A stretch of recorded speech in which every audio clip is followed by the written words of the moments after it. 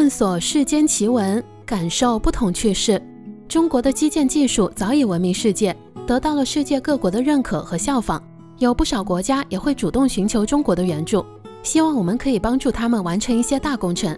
不过最近一段时间，日本设计的垂直大桥惊艳了全世界。有不少国家看到这座桥之后，都表示日本的建桥技术已经超过了中国。可是看到侧面设计之后，网友却忍不住笑了。这究竟是怎么回事呢？据了解，这座桥位于日本鸟取县，叫做江岛大桥，全长约一千四百四十六米。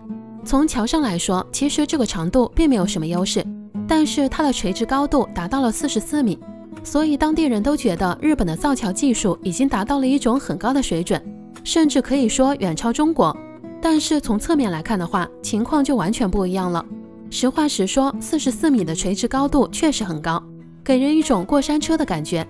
但是这种高度只是在上桥和下桥的部分，桥中间是趋于平缓的。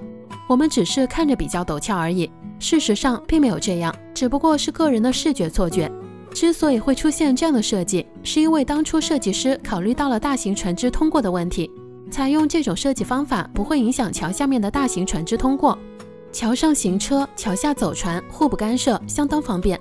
所以准确说来，这座桥的设计技术并没有超越中国这一说，只是恰到好处的利用了大家的视觉错觉而已。看到这样的设计，不知道大家有什么想说的呢？好了，今天就先给大家介绍到这里。喜欢我们，记得点赞和关注哦。我们下期再见。